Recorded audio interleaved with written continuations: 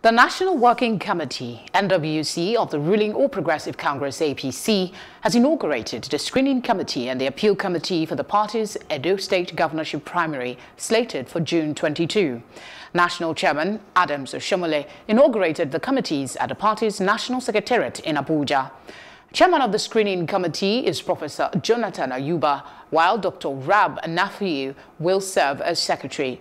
The appeal committee has Professor Abubakar Fari as its chairman and Dr. Daniel Wala as the secretary.